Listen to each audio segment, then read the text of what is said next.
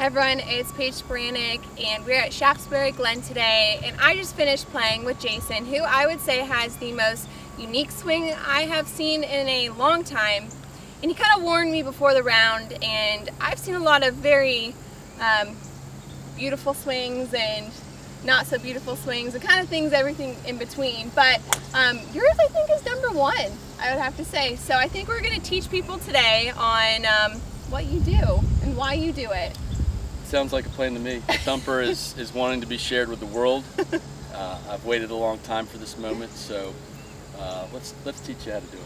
And this is a great lesson for everyone. I know we're always kind of seeking this perfect swing or what we should should do or shouldn't do, but actually it's you should swing your own swing and do what you feel comfortable and not care what people think because if it works, it works, right? That's right. Perfect's overrated.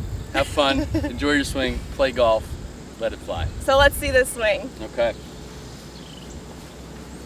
So you said this kind of started because you played baseball and you like to kind of move your hands when you're swinging, correct? That's correct. And um, it just kind of happened and I've been given the chance to sit down with an instructor, but I don't know if any one of them's ready to tackle this project yet. So, uh, but I, I enjoy it. I do it.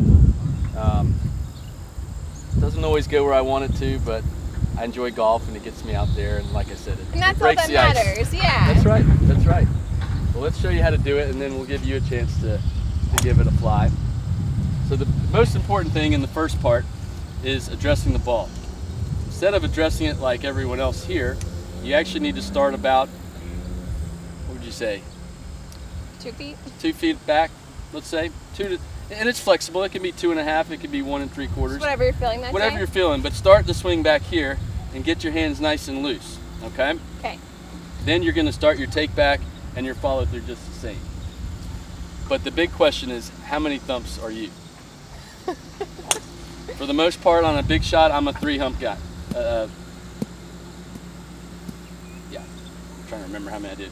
I'm a three hump guy, yeah. So one, two, three, and then I start the swing. Okay. But it's up to each individual. So So I think I saw maybe four or five thumps out there. you know, I, the coffee got to me earlier. You know, I was a little upset about a, a, a couple shots. So um, but let's try it with a three.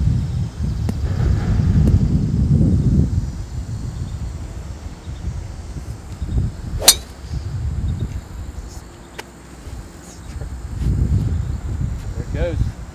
I think the three's the number. So uh, there you go, guys. Um, you have to start with your club about two to three feet behind the ball, and then the real key is to do the three thumps. Wait a little bit. Make sure you're good. Get Set. your mind right. Get get it set, and then a little inside, and swing away. That way you'll have this perfect high little draw, and that is a swing tip from Paige and Jason today.